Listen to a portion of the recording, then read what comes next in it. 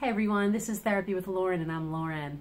If you have a teenager who's experiencing anxiety, um, the first thing I want you to ask yourself is, is it a normal amount of anxiety? Is it anxiety over a test or anxiety because they didn't follow through with something they were supposed to do?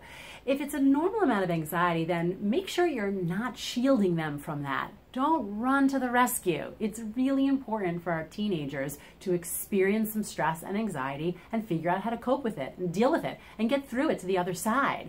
If they do that successfully in their teenage years, when they get to adulthood where there's guaranteed to be more stress and anxiety, then they'll know how to cope with it and they'll feel confident in themselves that they can face those issues in life, right?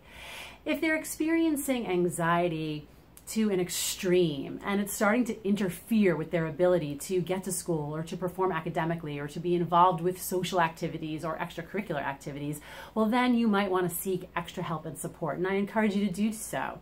A great place to start is with a school counselor who might be able to be helpful or to seek out a licensed therapist in your community like me who can help to assess the symptoms and give you feedback on the best way to proceed, whether it be through some individual therapy sessions or some family sessions or both.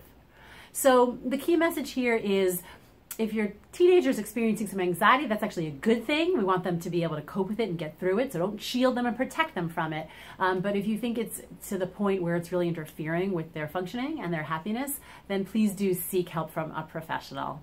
I hope this helps, and I'll see you soon.